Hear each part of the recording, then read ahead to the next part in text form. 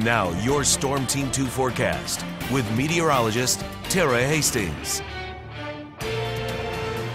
Well, after a foggy start to the morning, we ended up seeing lots of sunshine for the afternoon. Clouds are going to increase later tonight, though. We'll start off around 43 degrees at 7 o'clock and fall into the lower 40s at 11 o'clock with mostly cloudy skies. And there's a very slight chance we may see an isolated shower or maybe spotty uh, rain shower south of Dayton here uh, early in the morning. 35 degrees at 8 a.m. up to 45 by lunchtime and high temperatures will be into the upper 40s. Right now at Dayton International Airport we are checking in at 45 degrees with winds out of the south at 5 miles an hour and other area temperatures dropping into the 30s here farther north around Wapakoneta and Bellefontaine. You may see a few patches of fog here in the far northern sections of the area but for the rest of us we're going to see a couple of hours of clearing before more clouds begin to roll back in. Here's a look at our Bryant Heating and Systems cooling camera. Mostly clear skies out there and dry pavement here on I-75 as we look towards uh, the south here.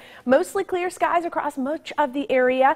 Uh, all the clouds that we did have earlier this afternoon now pushing off to the east of us and expanding the view a little bit wider here. I want to show you this little spin in the atmosphere where you can see a lot of clouds and even a little batch of some showers popping up here in central sections of Illinois. All all of this will continue to move eastward. So we'll begin to see our clouds increase in the next couple of hours. We're also going to see just a slight chance for a few light showers to develop here. Here's a look at our future track forecast model. We'll show you here at 1 o'clock in the morning. Clouds will increase. And again, a slight chance for a few showers after midnight into early Monday morning, mainly for so southern sections of the Miami Valley. Here's the picture at 10 o'clock, still dealing with some cloud cover around in the morning.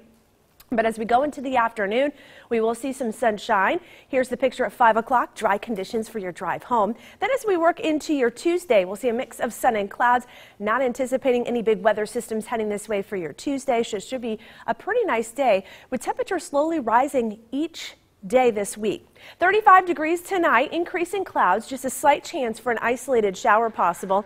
And for the day tomorrow, we'll start off with some morning clouds, temperatures near 47 degrees, and looking for some afternoon sunshine. In your Storm Team 2 seven day forecast, 48 degrees expected on Tuesday, a dry day here, up to about 50 degrees on Wednesday with a chance for some showers to push through. And then as we go into Thursday, highs up to 53 degrees, slight chance for a few showers in the afternoon, a chance for some showers in the morning on Friday, and look at this here on Saturday. I am forecasting 60 degrees. Our normal high for this time of year is 39, and the record on that Saturday is 62, set back in 1972. So very unusual heading into the middle of December, but it is possible that we may reach that 60 degree mark for next weekend. Seems like we're going in the opposite direction of what I'd expect. Yeah.